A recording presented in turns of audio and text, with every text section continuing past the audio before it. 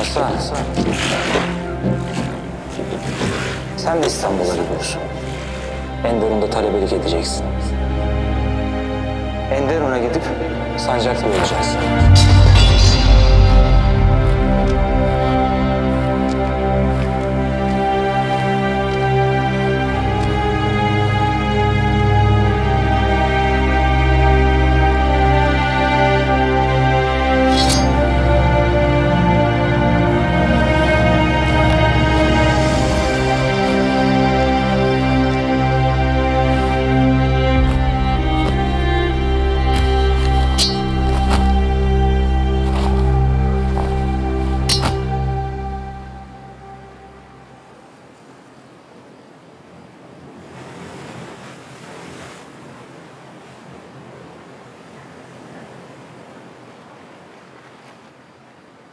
Akıncı gazilerimiz Tilimsan'da İspanyollarla cenk ediyordu.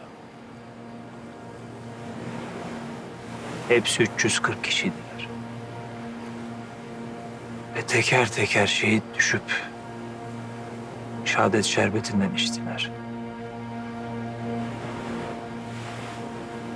İşte o şehit düşenlerden biri de gazilerin serveri,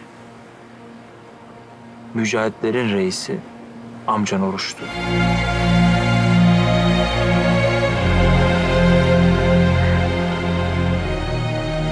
Şehit düştü haberini aldığımda yemeden içmeden kesin. Kimseyle görüşemez oldum. Aklıma zarar gelecek gibi oldu. La havle ve la kuvvete illa billahi la azim dedim. Ve kendimi anca toparlayabildim. Ama karındaşımın ve şehitlerimizin acısını yüreğimden bir türlü çıkaramadım. Ölümü yattığında yastığımın altında, kalktığımda burnumun ucunda hisseden ben, onu ancak abimi kaybedince anlayabildim.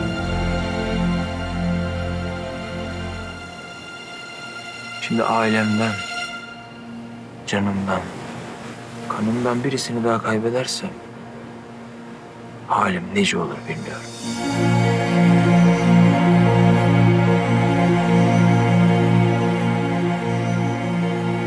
İslam'a hizmet yalnız gaza yapmakla olmaz. İlim terbiye etmiş, insanlara da ihtiyacı var ümmetin. Diyeceğim o ki oğlum.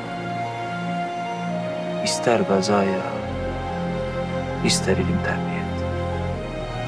Gerisi sana kalmış.